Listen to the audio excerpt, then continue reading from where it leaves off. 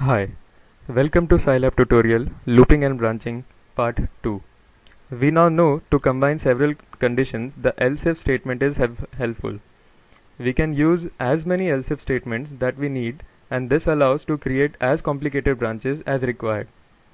But if there are many else if statements required, most of the time this implies that a select statement should be used instead. The select statement. The select statement allows to combine several branches in a clear and simple way. Depending on the value of a variable, it allows to perform the statement corresponding to the case keyword. Let us look at its syntax. We specify select keyword followed by a variable. Then we give some cases. Case value 1 its instructions. Case value 2 its own instructions. We go on and on till we get our own desired value n Alternatively, we can specify the else keyword followed by its own statement. In the following script, we will display a string which corresponds to the given integer k.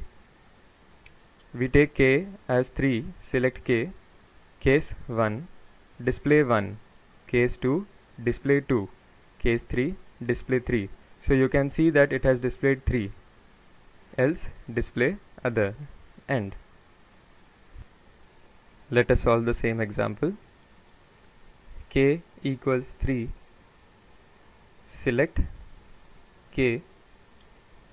Case 1 display 1 case 2 display 2 case 3 display 3 else display other. End. So you can see over here it has displayed 3 because we are taking the value of k as 3